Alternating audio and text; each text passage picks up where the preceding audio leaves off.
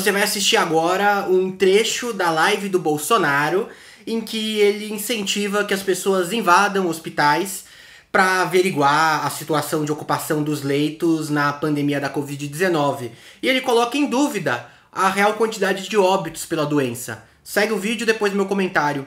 Pessoa, praticamente uma série de problemas de saúde, tá? entrou em óbito. Até o momento, pelos que familiares sabiam, não tinha contraído o vírus e aparece lá no, no óbito como Covid-19.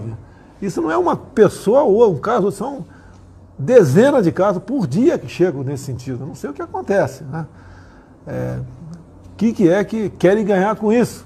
Tá? Tem o ganho político dos caras, só pode ser isso, aproveitando aí o, as pessoas que, que falecem para ter um, um, ganho político e para culpar o governo federal.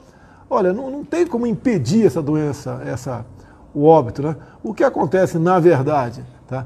Quem contrai o vírus, se, se tem comorbidade, se tem uma idade avançada, são pessoas mais fracas, né? a, possibilidade de, de, entrar em óbito é grande. Inclusive as informações que chegam para nós, seria bom você fazer na ponta da linha. Tem um hospital de campanha perto de você, tem um hospital público, né? Arranja uma maneira de entrar e filmar. Muita gente está fazendo isso, mas mais gente tem que fazer para mostrar se os leitos estão ocupados ou não. Tá? Se os gastos são compatíveis ou não. Tá? Isso nos ajuda. Tudo que chega para mim nas mídias sociais, a gente faz um filtro e o encaminho para, para, para, para a Polícia Federal ou para a BIM, tá certo? E lá eles veem o que fazem com esses dados. Então, é, até eu não posso prevaricar, né? o que chega ao meu conhecimento, eu passo para frente para que seja, pela inteligência deles, analisado e aberto um processo investigatório ou não. Bom, gente, é o seguinte, temos observado, estamos observando uma série de invasões em hospitais de campanha. A gente viu aqui em São Paulo isso acontecendo. Invasão, basicamente, entrar sem autorização, dar um jeito de entrar, nas palavras do presidente, né? É, é um incentivo à continuidade dessas ações de total irracionalidade, de total barbárie, de total desrespeito com a classe médica, de total desrespeito com as vítimas e com os familiares das vítimas da Covid-19, certo?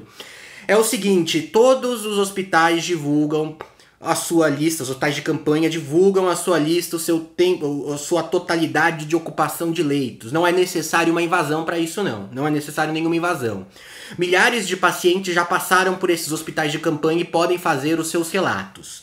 Não é verdade, ninguém entra na estatística federal por morte de Covid sem o resultado do teste, atestado pelo próprio Ministério da Saúde do Jair Bolsonaro.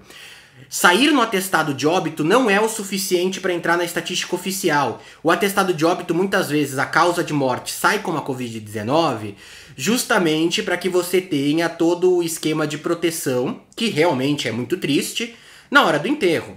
Então, é, caixão lacrado, pouco tempo para se despedir da pessoa e tudo isso. Depois, sendo o resultado do teste dessa pessoa negativo, mesmo no atestado de óbito dando que foi Covid-19, isso não está no número de 40 mil pessoas mortas. Não está, não está, não está. Nenhum técnico do Ministério da Saúde, nenhum médico, ninguém que trabalha em Secretaria Estadual da Saúde questionou isso até agora, certo?